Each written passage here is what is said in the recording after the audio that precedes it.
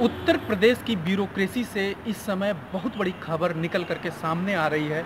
हम आपको बताना चाहेंगे कि उत्तर प्रदेश के पूर्व डीजीपी रहे ओपी सिंह 31 जनवरी 2020 को रिटायर हो चुके हैं। बावजूद इसके, आज 2 मार्च 2020 है। एक महीने से अधिक का समय निकल चुका है, मगर साहब को बंगले का मोह नहीं छूट पा रहा है। यही वजह है कि अभी तक जो नए डीजीपी हैं, जिन्होंने एक फरवरी 2020 को प्रदेश के नए डीजीपी के तौर पर कार्यभार संभाला है। हितेश चंद्र अवस्थी को अभी तक डीजीपी के तौर पर उनको सरकारी बंगला नहीं मिल पा रहा है।